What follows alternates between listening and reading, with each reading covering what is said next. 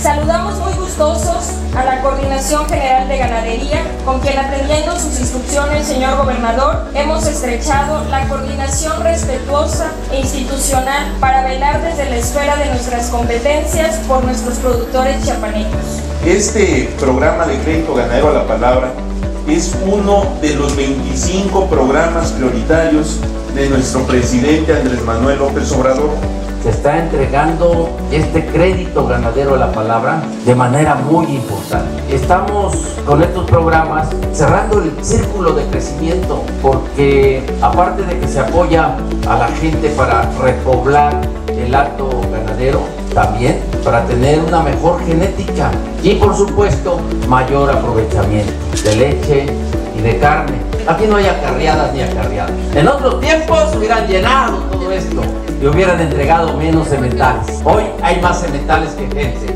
Muchísimas gracias. Un abrazo y felicidades. Rutilio Escandón, gobernador.